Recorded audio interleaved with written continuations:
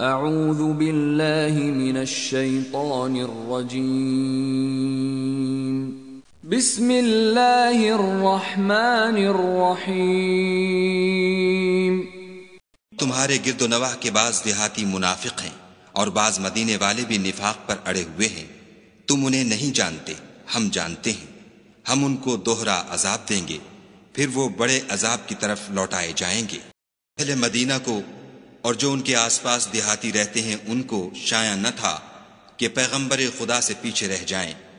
اور نہ یہ کہ اپنی جانوں کو ان کی جان سے زیادہ عزیز رکھیں۔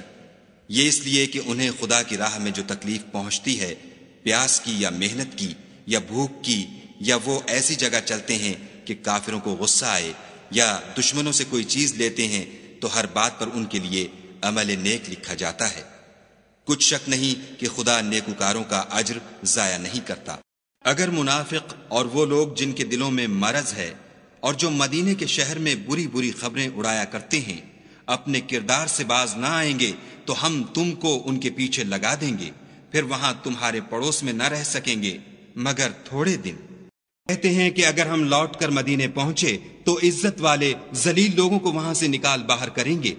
حالانکہ عزت خدا کی ہے اور اس کے رسول کی اور مومنوں کی، لیکن منافق نہیں جانتے۔